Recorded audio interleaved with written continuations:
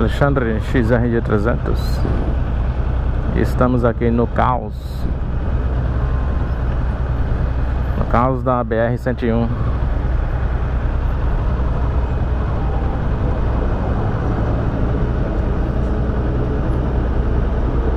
Não imagino como, mas caiu um caminhão aqui nessa área que está bloqueada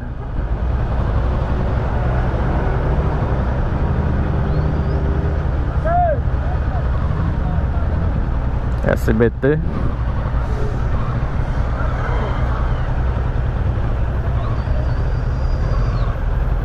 Como é que esse caminhão passou aqui, velho?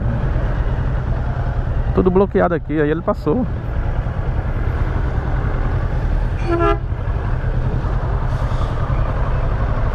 Óleo na pista.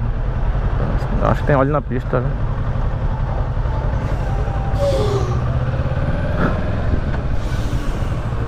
Meu velho, eu acredito que pegou algumas casas ali, viu?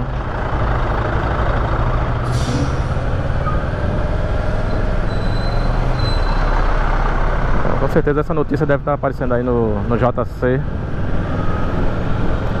Jornal do Comércio Sistema. São 7h28 Dia 6 de dezembro se você quiser consultar a notícia aí.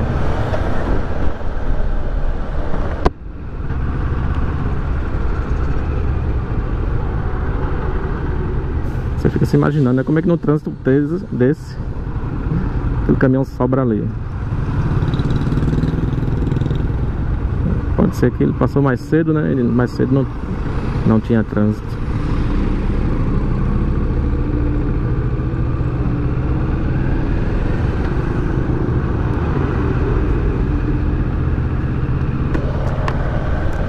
Tá falando sobre o vídeo que eu fiz aí é, XRE em detalhes a 2019 Teve gente reclamando da apresentação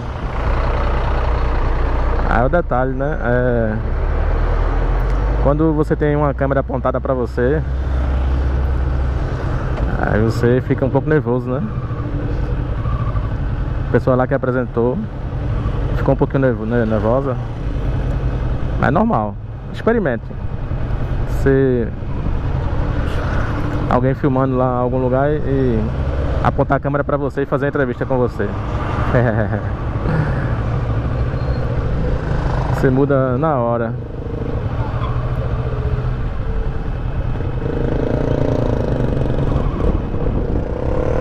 Acontece, normal. Também quando eu apresento aqui normal, mas quando um colega meu tá me filmando e perguntando pra falar alguma coisa, você já fica todo.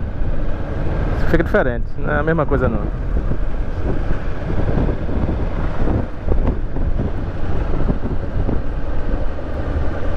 Estamos aqui na BR-101, passando pelas obras.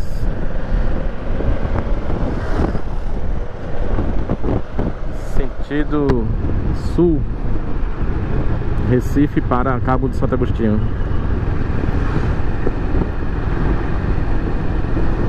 Então, Se você não conhece, não é daqui, não conhece o Cabo Sentido Recife, São Paulo.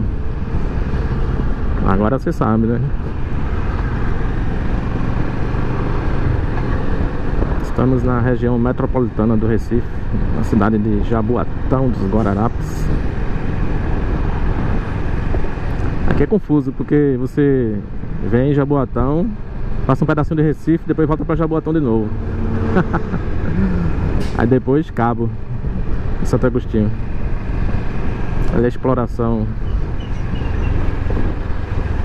de minério.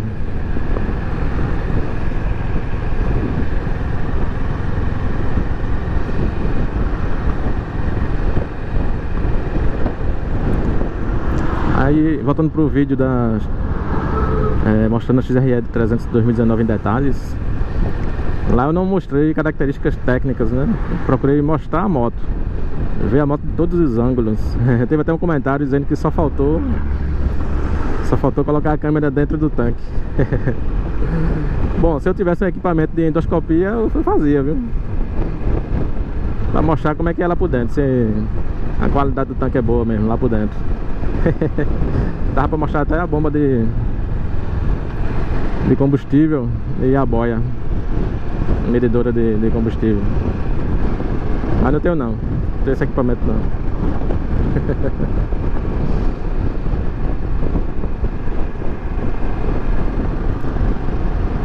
Aí não me preocupei em característica técnica porque tem vários vídeos aí que fazem isso muito bem, como por exemplo o canal Moto, né? Que é, que é o China que apresenta vídeo dele ficou ah, fantástico Perfeição não existe, né? Mas que o vídeo dele ficou fantástico, ficou, viu? O cara dá, um, dá uma aula lá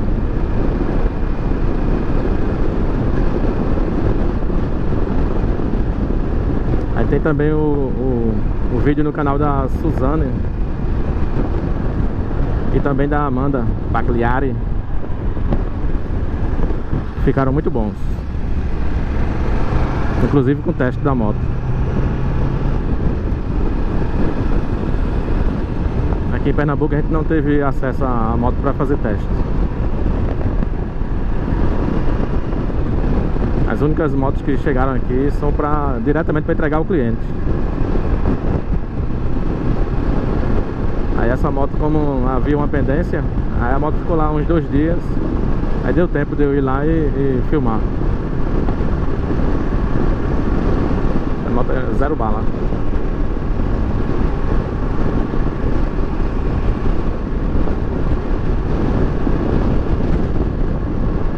Essa, essa moto aqui é muito fácil véio, de, você manobrar, fazer manobras evasivas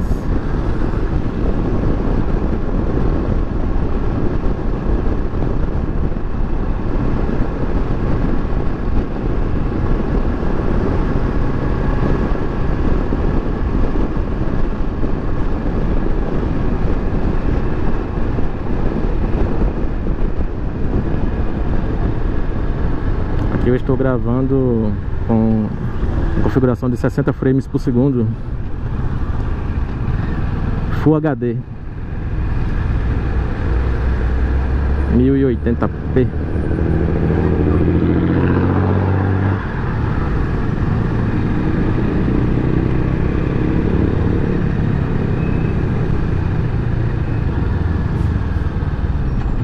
Olha a Teneré tem é, afastador de alfoge Aí do lado esquerdo o cara instalou aquele Aquele cano de 100, né? Pra servir de porta Porta objetos, porta ferramentas Aí tá preparado pra viajar, né?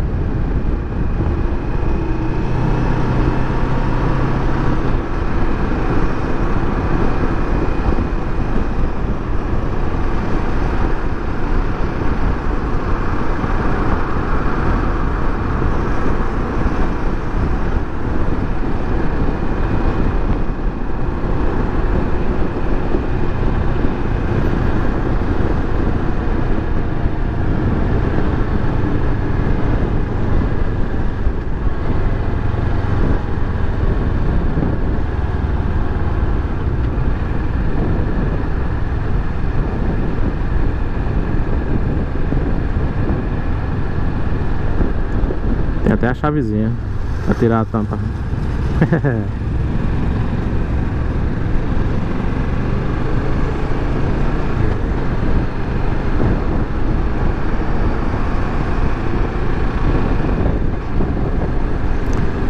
A nova XRE, ela tem cinco, mais de 5 quilos é, a menos de peso, né?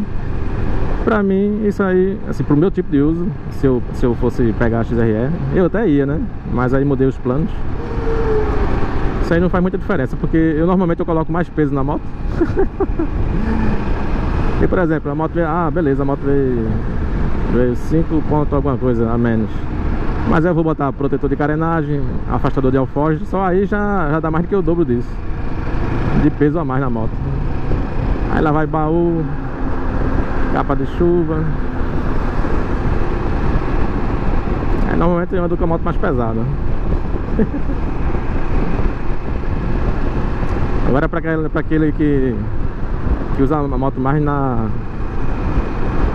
na cidade, dia a dia pro trabalho.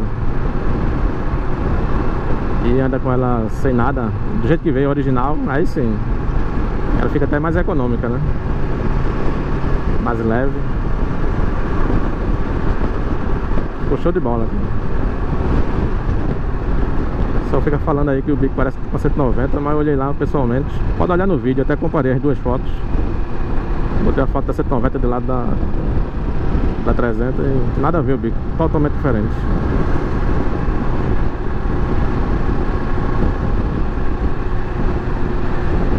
O que pode fazer as duas parecidas são os, os ângulos né, das, das curvas, né? A posição que o farol tá. Mas até o farol é completamente diferente. O farol é um show de bola, é um espetáculo. Assiste lá o vídeo. Coloquei o título do vídeo como XRE 300 2019 em detalhes. Se eu me lembrar, eu coloco o, o, o vídeo aí na descrição e também nos cards.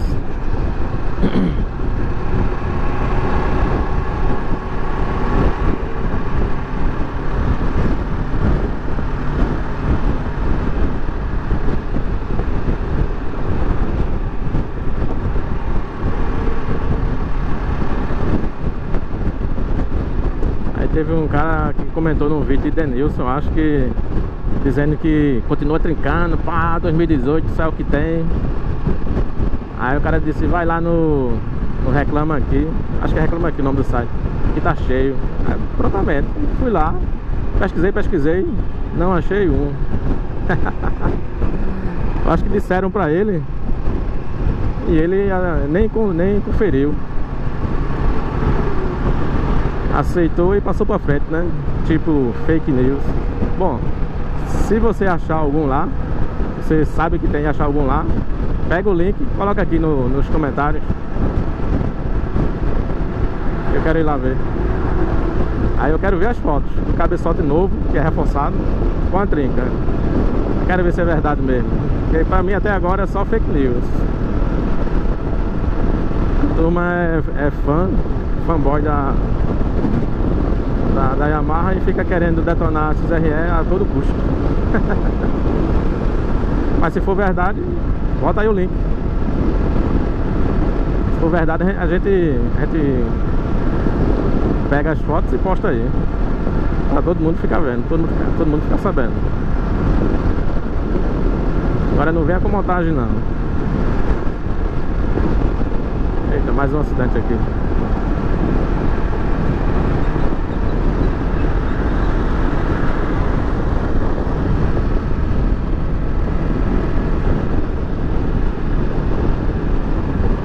Pertinho da polícia rodoviária. E não tem um carro da polícia rodoviária lá.